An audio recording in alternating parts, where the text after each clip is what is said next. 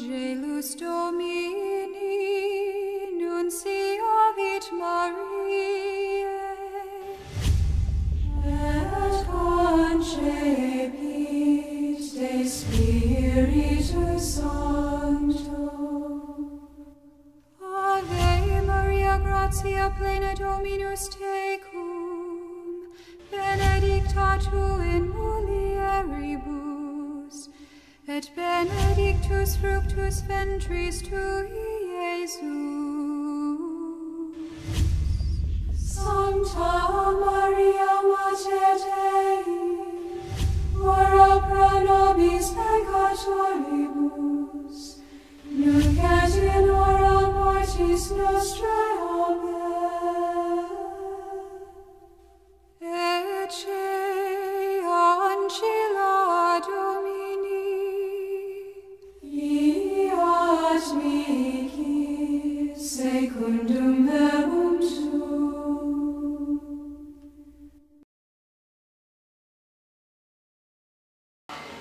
Nombre real es Andrea Gutiérrez mi nombre dentro del grupo es Hijo. Eh, bueno, yo me llamo Manuel Rodríguez, eh, soy estudiante de antropología del séptimo semestre de la Universidad Nacional. Mi nombre es Francisco Mejía, dentro del grupo soy conocido como Isangre Pop Marshall. Mi nombre es Nicolás Anzona y pues dentro del grupo yo soy Darkundo. Mi nombre es Gustavo González. Eh, Yo soy estudiante de arquitectura de la Universidad Nacional y pues los fines de semana me dedico a hacer reconstrucción histórica de un sueco del siglo IX.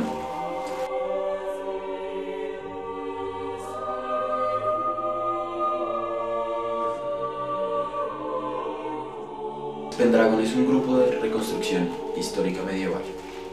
Eh, pues la reconstrucción histórica medieval es, es una práctica que ya lleva mm, varias décadas realizándose pues obviamente eh, en Europa tiene mucho, mucho auge, pues, porque su, su cultura, su historia. Y en América Latina también tiene- lleva ya unos 10 años, un poco más de 10 años en países como Argentina y como Chile, que pues ya nos llevan ventaja en esto. Y pues es una práctica que consiste en investigar una época determinada de la historia y tratar de reconstruirla pues en sus aspectos físicos y en, pues como para mostrarle a la gente en realidad cómo era y pues más acá en un país como Colombia que no conocen en realidad cómo, cómo era la Edad Media pues nosotros lo que hacemos es investigar cómo eran los diferentes pueblos de Europa y pues Medio Oriente y pues Asia si es posible aunque no, no somos tantos como para, para investigar tantos pueblos y, reconstruirlos desde los aspectos físicos eh, la ropa las armas, las armaduras, las técnicas de manejo, hasta pues conocer cómo era su cultura, cómo eran sus creencias, cómo eran sus costumbres y pues como reconstruirlas para mostrarle a la gente un tipo de museo vivo. Tengo dos personajes, digamos. Personifico a una mujer eh, sueca del siglo, entre el siglo IX y X, pues lo que llaman una mujer vikinga, y también representó a un guerrero sueco de ese mismo periodo de tiempo. En mi carrera profesional es artista plástica y aparte pues me gusta mucho lo manual. Eh, me gusta bordar, eh, coser, eh, prácticamente todo lo, todo lo manual que, que se puede aprender he tratado de, de practicarlo de alguna forma. Entonces mi, mi rol en el grupo es, la- pues en este momento soy la directora de la casa de El Cuervo, que es la casa de las artesanías o de las manualidades, es la casa que se encarga de, de llevar a las personas de un, proceso mental de, de quiero hacer tal cosa a, a la parte práctica que es a realizarlo o a, encontrar los métodos para realizarlo o a desarrollar sus propios, digamos, métodos. Entonces mi, proceso, mi, mi, mi tarea en este proceso es ayudarles a las personas a encontrar una forma correcta de hacer lo que necesiten, sea ropa, accesorios, armas, armaduras, Yo hago la reconstrucción de un sarraceno, particularmente un sirio del siglo XIII, perteneciente a las huestes del ejército de Saladino en la Tercera Cruzada.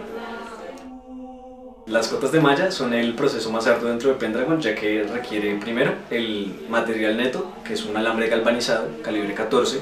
Ese alambre uno lo va hilando con un torque hasta que quedan varios, varios tubitos. Esos tubos están conformados por varias anillas que uno corta con las cizallas y que son la unidad la unidad de la cota. Está conformado más o menos por unas 12.000 a 15.000 anillas cada cota. Después de que uno tiene las, las anillas, va formando grupos de cuatro hasta que tiene un montón de grupos de cuatro que luego se, se unen entre sí. Uno va haciendo primero el- el pecho, luego la espalda y luego las dos mangas.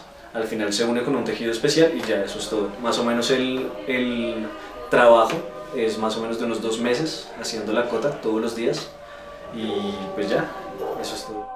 Dentro del grupo me encargo de la Casa del Águila. La Casa del Águila es la parte de, las actividades que se encarga del estudio de absolutamente todas las actividades, eh, de absolutamente todo el estudio de todos los objetos que realizamos para que sean lo más histórico posibles. Eh, nosotros hemos trabajado hasta el punto eh, casi todo en frío, toda la cuestión de metal en frío, porque no tenemos ni la habilidad por un lado, que es una cuestión de años de experiencia, ni el dinero para contar con una fragua y el trabajo especializado de metales. Por ende, eh, todo lo que nosotros hemos hecho, pues los hemos hecho en frío, ¿sí? Todo esto está hecho en frío, martillado y lijado, se le da la forma y la idea pues es, es hacerlo tal cual eh, con técnicas de la época también se hacían cosas muy parecidas en frío por eso nosotros nos, pues, nos hemos esforzado bastante y pues el objetivo es que queden lo más históricos posible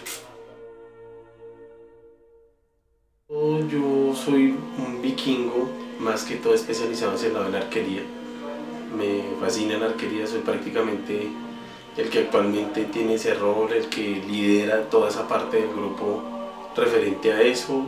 Tanto así que he aprendido cómo hacer tipos de arcos con distintos materiales, eh, las flechas, las cuerdas, todo eso. En el caso son tubos de PVC moldeados con la forma del arco, los la- o los tips, que es en donde va la cuerda, y pues la cuerda tensada. Encontré unos tutoriales muy buenos de cómo hacerlos en esto y llegar hasta el punto en el cual prácticamente esconder el hecho de que es un tubo y prácticamente que se vea muy, muy estético el arco y sea 100% funcional.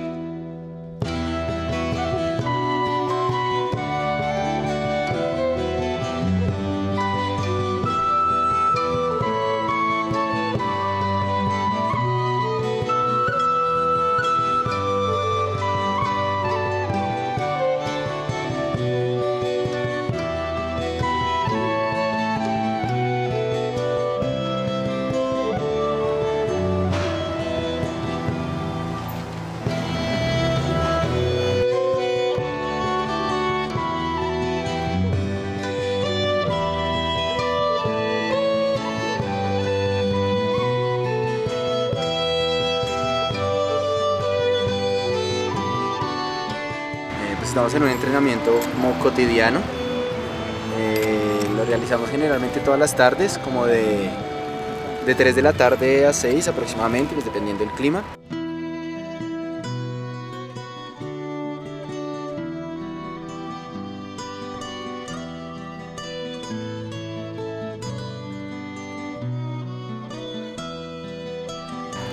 Empezamos siempre con un calentamiento, un estiramiento básico, después un calentamiento con armas.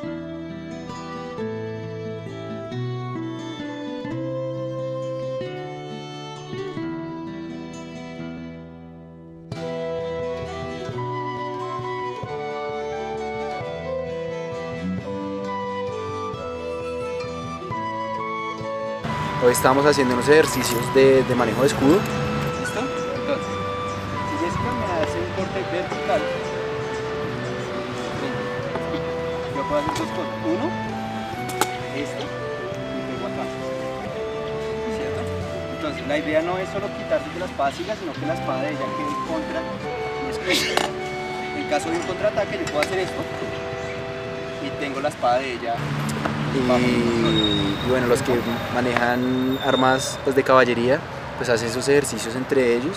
Tratamos como de primero con los de la misma civilización aprender bien a manejar las armas para después entre civilizaciones pues mirar cómo funcionan unas técnicas contra las otras. Eh, aparte pues tenemos un, pues, un entrenamiento básico de arquería para unos visitantes que, que tenemos hoy, que son pues una tropa de Boy Scouts. Eh, pues con ellos estamos como contándoles un poco sobre, pues sobre curiosidades que tienen ellos de, la Edad Media y pues explicándoles un poco de arquería.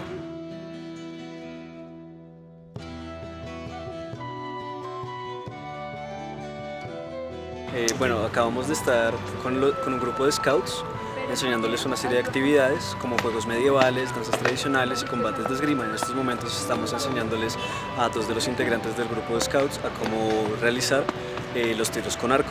Con nuestros arcos de PVC están, pues ya como usted puede ver, haciéndoles las, haciendo una serie de competencias entre ellas con el arco y la flecha.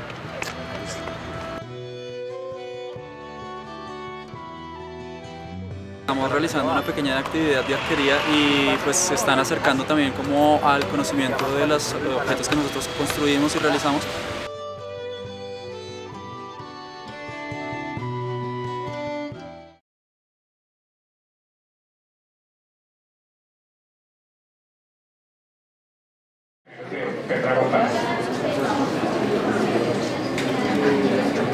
Noches. En nombre de todo el grupo de reconstrucción histórica medieval del Dragón, les damos la bienvenida. Eh, este esfuerzo que hemos hecho junto con Espíritu Celta es para que ustedes tengan una celebración de Año Nuevo pues, fantástico. Eh, hemos tratado de hacerlo eh, lo mejor posible, lo más real posible, lo más bonito posible para ustedes. Esperemos que la pasen bien y.